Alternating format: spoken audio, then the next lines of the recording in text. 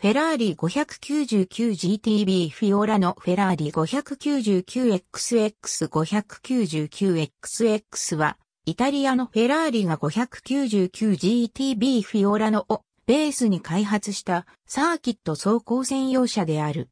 レースへの参加や行動走行はできない。フェラーリにとっての技術実験者の役割も担う。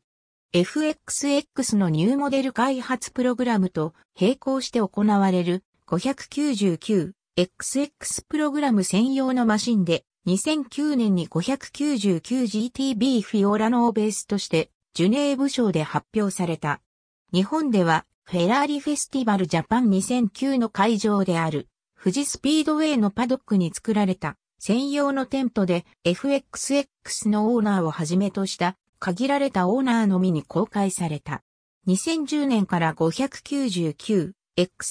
プログラムがスタートし、カスタマーは FXX 同様フェラーリのコルセクリエンティ部門によるフルサポートプログラムを受けられ、バーチャルレースエンジニアと呼ばれる車両パフォーマンスをリアルタイムで表示する計器でデータを抽出される。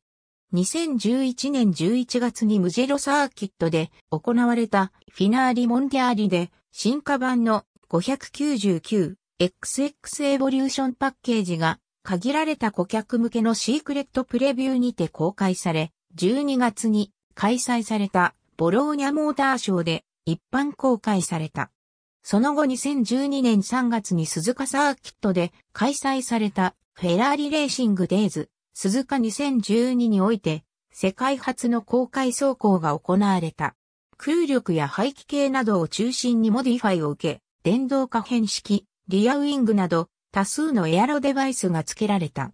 なお同バージョンは既存のモデルへのレトロフィットが提供されるほか、新規での生産も行われると発表されている。インテリアボディはアルミニウム製、スペースフレームを基本構造とし、軽量化と剛性の確保のため CFRP が使われた。リアセクション C ピラーには、 F1マシンでは、おなじみのカナードが設けられた。左右の元テールライト部は、アンダーボディを通過するエアを2個のファンによって強制的に排出させるため、筒状のエアアウトレットになっている。走行中に変化する車体の姿勢に応じて不安定になる空力性能だが、アンダーボディを通過したエアを2個のテールライト部、ディフューザー部から排出させ、常に最適量のダウンホースを得る、アクティーフロというシステムを実現している。このギミックは 599XX が初搭載になる。